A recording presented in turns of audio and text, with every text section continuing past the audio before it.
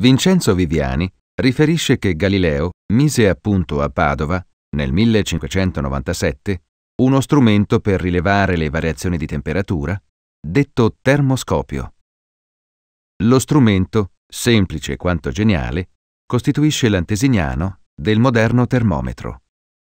Il termoscopio galileiano è costituito da una piccola caraffa di vetro che presenta un cannello molto sottile, lungo circa 50 cm. Si riscalda la caraffa con le mani e si immerge, rovesciata, in un recipiente pieno d'acqua. Quando si sottrae il calore delle mani alla caraffa, si osserva che l'acqua sale nel cannello dello strumento. L'esperienza evidenzia le modificazioni della densità dell'aria prodotte dalle variazioni di temperatura.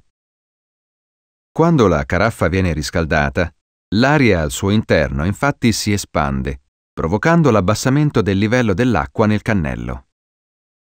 Viceversa, quando l'aria si raffredda, il suo volume diminuisce, consentendo all'acqua di risalire dal recipiente inferiore nel cannello della caraffa.